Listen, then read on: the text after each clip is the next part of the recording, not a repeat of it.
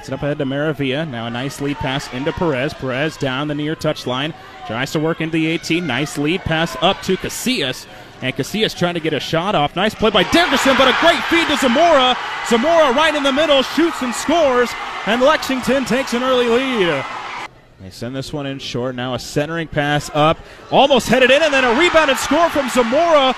Once again, it went off of the header of a Dean Cruz Lima. Zamora with his second goal of the contest.